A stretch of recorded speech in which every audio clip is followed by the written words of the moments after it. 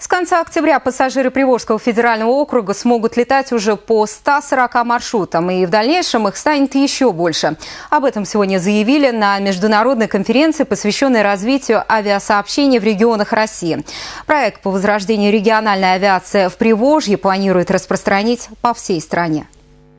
Новая веха в новейшей истории России. Именно так, а не иначе, авиаперевозчики говорят о тех изменениях, которые грядут с конца октября нынешнего года.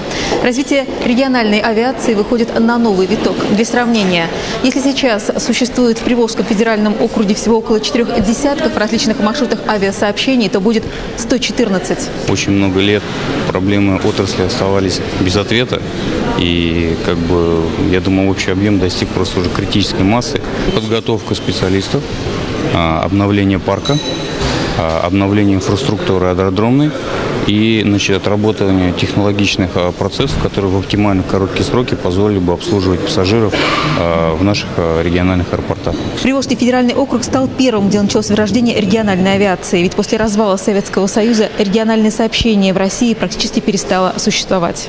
Я знаю даже одну анекдотическую ситуацию, когда один из глав регионов Дальневосточного федерального округа для того, чтобы перейти в соседний регион, расстояние между которым напрямую было недостаточно большое, ну, незначительное по сравнению с периодом через Москву, потратил огромное количество времени для того, чтобы добраться до Москвы, с учетом стыковых рейсов провести там полдня, вылететь в регион, который был по соседству, и из-за непогоды его посадили обратно в том регионе, откуда он вылетел. Государство субсидирует эту программу, потому что не все маршруты одинаково экономически выгодны. Но главная цель – социальная – связать разные уголки страны напрямую.